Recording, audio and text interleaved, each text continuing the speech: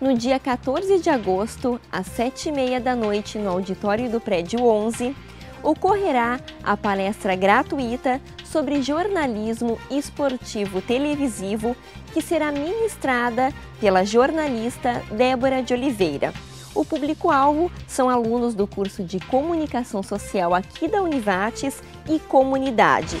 A Farmácia Escola oferece, no dia 17 de agosto, a oficina gratuita Vamos Organizar Nossos Medicamentos com o objetivo de ensinar os participantes a fazerem caixinhas organizadoras, porta-insulinas e espaçadoras. A atividade ocorrerá na Farmácia Escola, localizada no centro de Lajado, e as inscrições podem ser feitas pelo telefone 3982 1410.